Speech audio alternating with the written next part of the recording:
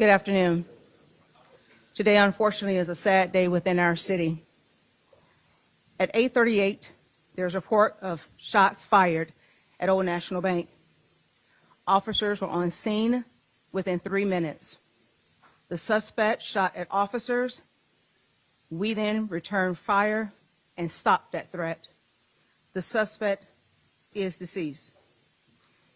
This is the only time that I will mention the suspect name in this case. The suspect has been identified as Connor Sturgeon, white male, 23 years of age, who was employed at Old National Bank. His weapon of choice was a rifle. We have five total deceased, which includes him, but I want to acknowledge with heartfelt condolences, prayers to the family of those who lost their life today. Tommy Elliott, 63 years of age. Jim Tutt, 64 years of age. Josh Barrick, 40 years of age. And Juliana Farmer, 57. We have a total of nine victims who were treated and are being treated at University of Louisville Hospital. Three, which are in critical condition, including our officer. Three, who are listed in non-critical condition, and three who have been treated and released. The two officers who were struck in exchange of gunfire, one of the officers, he was grazed to the left side, and the other officer suffered minor injuries to the elbow. I just want to let everyone know that the officer who is in critical condition today, Officer Nicholas Wilt, 26 years of age, just graduated from the police academy on March 31st. I just swore him in, and his family was there to witness his journey to become a police officer.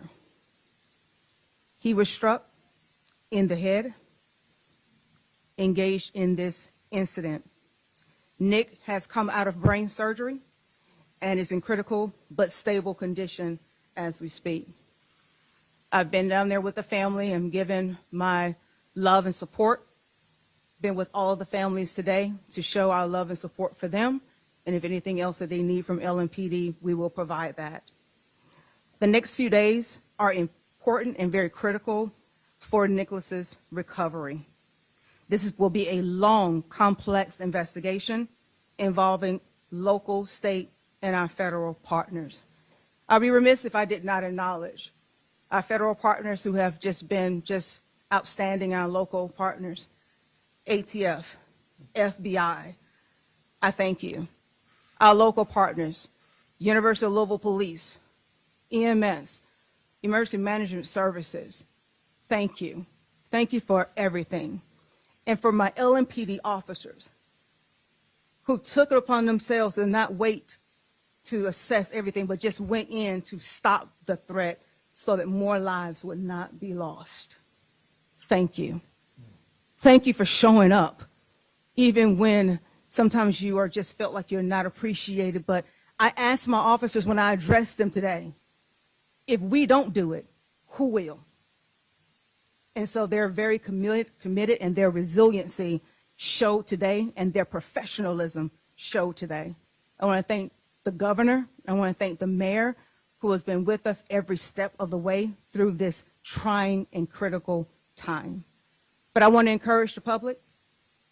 If you have any additional information, please call 574 LMPD and assist us. This should not continue to happen evil should not try to prevail and take over our city, and we let it happen. So I'm encouraging everybody that we unite and that we continue to do the good work, and LMPD will continue to keep this community and this city safe.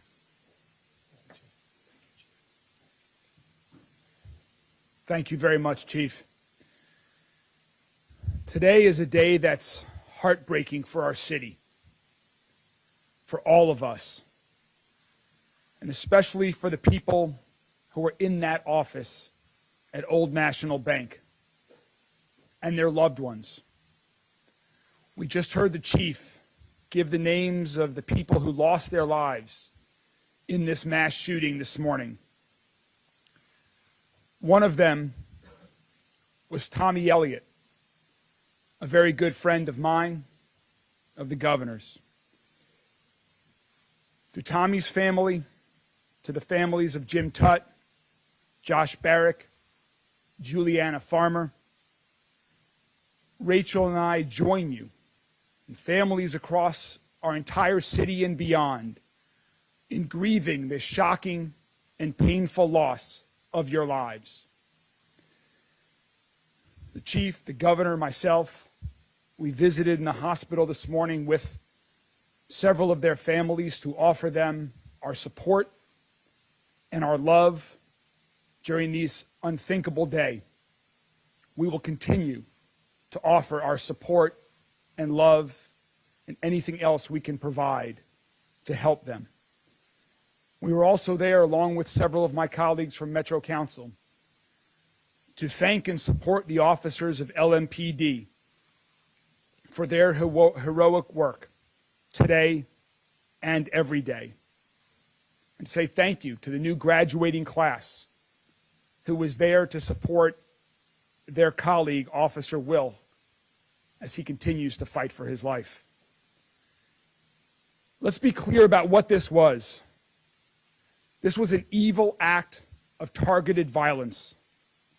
And to add to that tragedy, a few blocks away, shortly after this happened, another man lost his life and a woman was shot in a completely different act of targeted violence.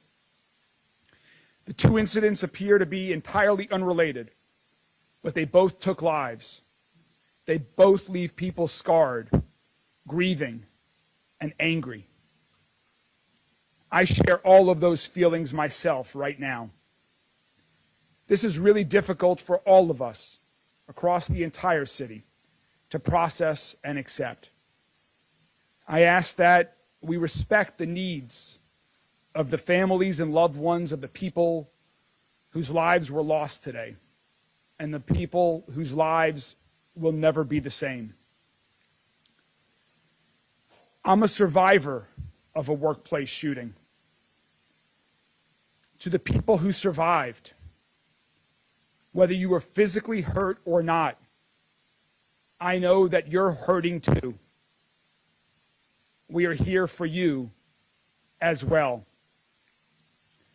To the survivors and the families, our entire city is here to wrap our arms around you. We've set up a family assistance center through the Red Cross to provide support and services to those families today and in the coming days, weeks, and months ahead that we know will be challenging. To provide you with whatever you need to deal with the trauma of this moment.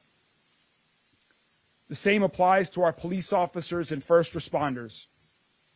Our city is here for everyone impacted. We are a strong city, and we will be here for support.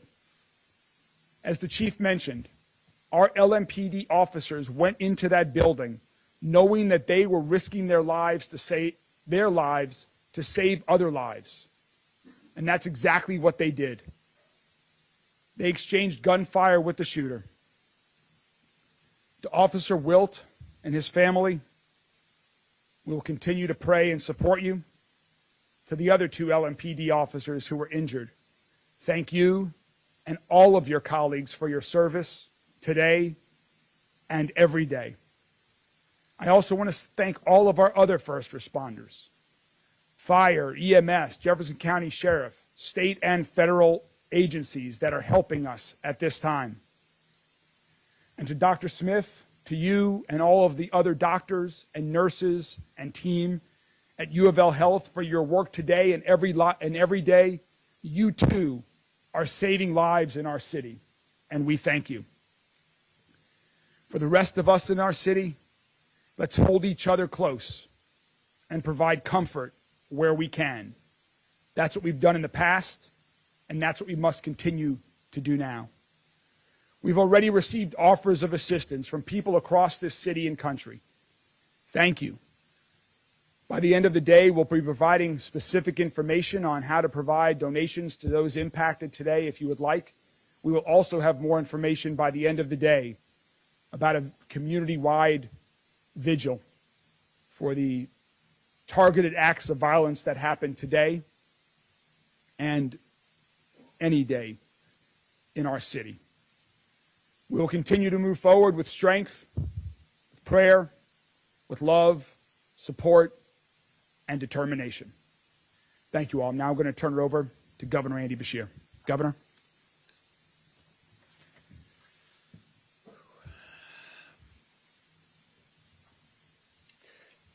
Today is a tragic day in Louisville and for the entire Commonwealth of Kentucky.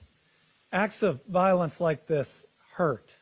They tear at the fabric of who we are, at our society, at our state, at our country, and this city.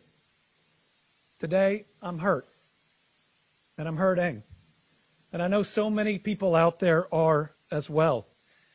We lost four children of God today, one of whom was one of my closest friends. Tommy Elliott helped me build my law career, helped me become governor, gave me advice on being a good dad. It's one of the people I talk to most in the world, and very rarely are we talking about my job. He was an incredible friend. We also lost Juliana Farmer, Jim Tutt, Josh Barrick, each amazing people whose families grieve them, whose community will mourn and will miss them. These are irreplaceable, amazing individuals that a terrible act of violence tore from all of us. We also pray for our LMPD officer and two others that right now, while perhaps stable, are still fighting for their lives with a need for our care and, yes, for our prayers because I believe. I believe. And I believe that prayers lift all of us up and those families would appreciate them. And while I hurt today, and while I will grieve when I'm able, I'm also grateful. I'm grateful for an incredibly quick response from LMPD, the Jefferson County Sheriff's Office, Louisville Fire and Rescue, Louisville Metro EMS, getting to this scene in three minutes. I'm convinced saved other people's lives, and I know saved two other of my friends. One, I received incorrect information this morning I thought was gone, and I'd started to mourn. And now I know he's okay.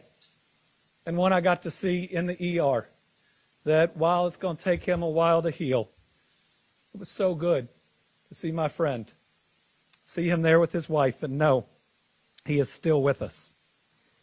I want to thank KSP, ATF, FBI, every single law enforcement agency that is going to bring their entire weight and their entire resources to bear so that we know exactly what happened in this situation. And you know, there are more first responders than the ones we've listed because the team at U of L Hospital are first responders too. The first battle was stopping that gunman.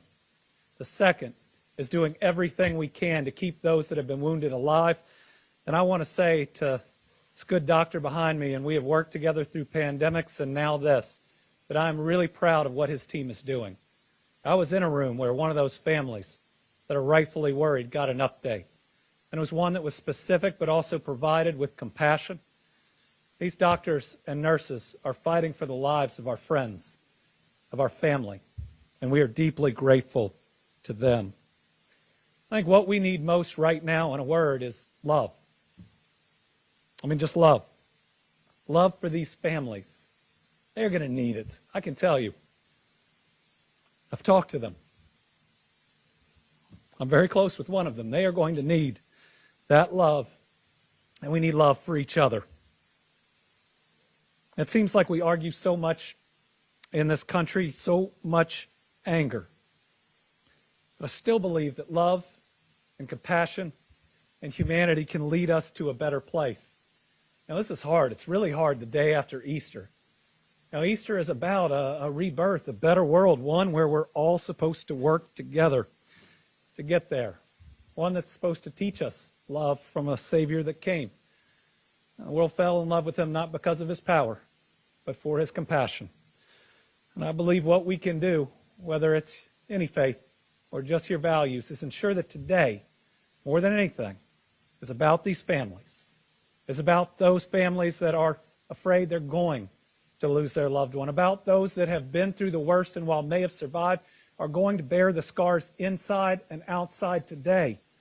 It's got to be about them and the heroic actions of everybody who responded. And yes, I know in the days to come we'll talk about issues. But I think the thing that people get wrong after the most difficult of times and days, and as governor, I've had to see a lot of them, is that today ought to be focused on my friend and on everybody else's friends and loved ones that are no longer with us. My faith teaches me that while the body is mortal, the soul is eternal. And so I know that I will see Tommy again. And I know that all of these families and friends in this community, we will be reunited in a better place without violence, without the senselessness and hurt that we feel today. We will get through this. We'll get through this together. It's the only way. And we'll march forward. And my hope is that in honor of those that have fallen today or that may still fall, we can be better and we can do better. We can care about and love each other just a little bit more. Today, um, to honor those that have fallen and as so many families grieve, I'm ordering our flags statewide, fly at half staff until Friday, um, Friday evening, to make sure that we are paying tribute in every single part of this Commonwealth to those that we have lost. We are one Commonwealth, united with this city, united with these families. What we've had to do a lot in these last three years is wrap our arms around each other, and we need to do it here. Thank you. Oh, and next, um, we're going to hear from Dr. Smith, who is leading an incredible team to try to make sure as many of those that were harmed in this incident get through it. And let me just again say that he and his hospital have my full support and confidence. I've seen it firsthand. What they're doing is nothing short of amazing. And listen, I know they're going to do their best. And while we don't know what that outcome can be, we ought to be appreciative of them for doing their very best.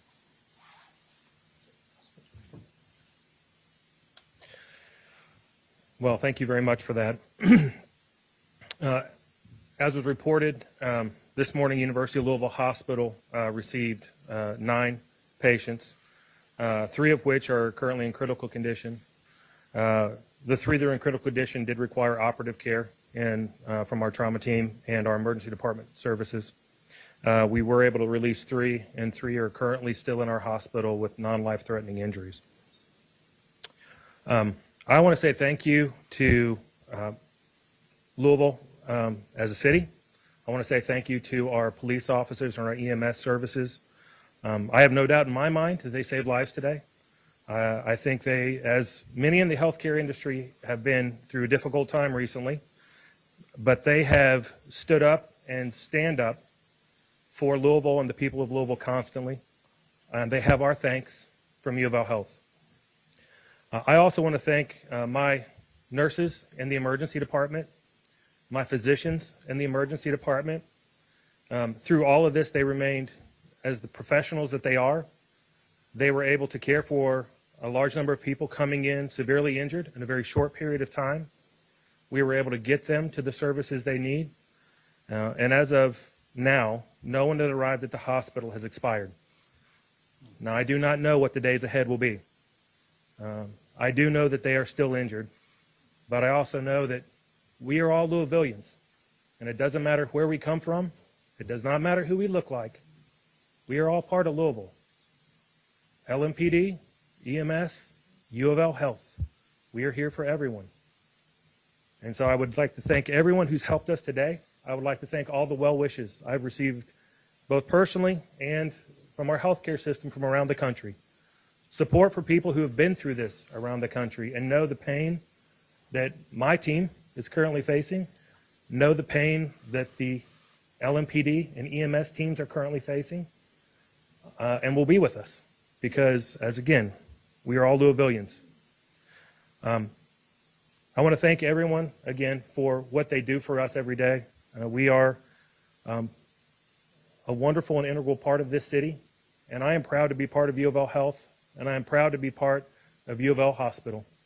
Um, so, with that, thank you, and I'll turn it over for questions. Thank you very much, Dr. Smith. We're prepared to take a few questions from the media. Dr. Smith, uh, obviously with brain surgery, do we know if Officer Wills is awake? Uh, I believe he, everyone who had had surgery today are still sedated. Uh, no one is currently awake. It's still very early in this process for many of that information.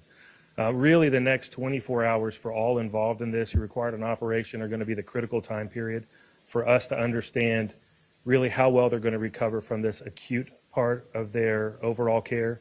Uh, they've got long roads ahead of them, but if we can get through a 24 hours, then we will take another 24 hours. And we will keep doing that until they get out of the hospital. You mentioned non-life threatening for those other victims. For the average person, does that mean gunshot wounds? Can that be considered non-life threatening in this case? Yes, you can have gunshot wounds that are non-life threatening. Correct. And that is the case for these three? We had, we treated a total of five gunshot wounds today from this uh, scene. For the police chief, what is that moment like to, to hear an officer was, was shot in the head and then ultimately to hear that, that for now he is stable, but, uh, to hear that it appears he may make it through this. What is, what are your thoughts there? That is one of the worst moments within any police chief's tenure being in this position. To hear that any of your officers have been injured in any kind of way, but critically injured. But it's also, too, it, it rubs me and it just rots my world to have anybody being injured um, and losing their life. And so I am just truly, um, I have so much respect for the families um, because they were still present and were very appreciative of what was done and how LMPD responded today. Um, and they were actually embracing me as I was embracing them. But let me say this the evil that took place today, we shouldn't hear the tears that were coming out from these families. And that right there sticks because they are weeping because someone decided that they wanted to take life today. And so, but with that, um, I'm very grateful and hopeful, and I'm thankful to the doctor for stabilizing um, so many that could have possibly lost their life.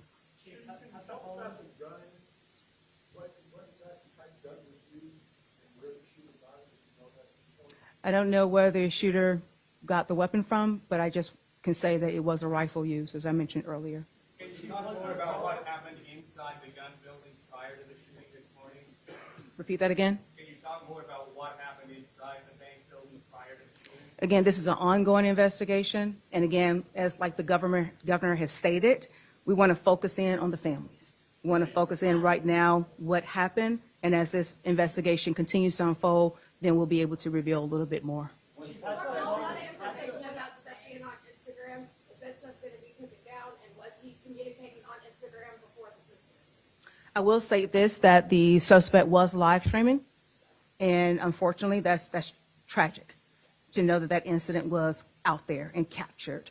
Um, and so we're hopeful that we can have that, that incident removed, that footage removed. Has the home of this shooter in this case been searched? Have you guys discovered anything, manifest or things of that nature? Again, it's still ongoing um, within this investigation, it's still unfolding, and so I don't want to get into any additional particulars at this time. Quick question, on the gun being identified, and you realized who he was, had he had any encounters with the police department uh, in his past? From my understanding, right now preliminarily wise, that may change, but my understanding, we have not had any prior engagement with this individual. And is he a citizen of Louisville? He worked at Old National Bank, and so I am assuming right now that he was a citizen of Louisville. And has there been a search warrant conducted on his home as of today? I don't want to get into particulars on that investigation portion of it, but again, it's ongoing, so I respect your questions. She told the killed by victims, employees of the bank. Are you able to say a number of victims were employees of the bank? Yes, yes, yes, And, and the officers. and the officers, yes. Chief, was the suspect shot and killed by police? Yes, sir. Yes, sir. Chief, were there guards inside the bank? Was was there any security, uh, where, uh, how, how was this person walking in? I'm not familiar with any other additional security with that inside the location, but again, let's focus back on this initial incident right here, that we were responded in a timely, quick fashion, and we stopped the threat so that no additional loss of life could be taken. We will continue, we will continue to provide updates as we have more information. This has been a very active day where we are, as the governor and the chief said, we are using every resource available from local, state, and federal agencies to provide all of these answers to the entire community, to the loved ones who lost victims today. And so we are going to get back to work. We will continue to keep you all up to date as we have more information. Thank you all very much. Uh, We will, we will let you know when the next update's going to be shortly. Thank you all.